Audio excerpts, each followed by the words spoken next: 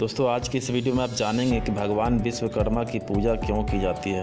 दोस्तों, विश्वकर्मा को दुनिया का पहला इंजीनियर और वास्तुकार माना जाता है। इस दिन उद्योगों, फैक्ट्रियों और हर तरह के मशीनों की पूजा की जाती है।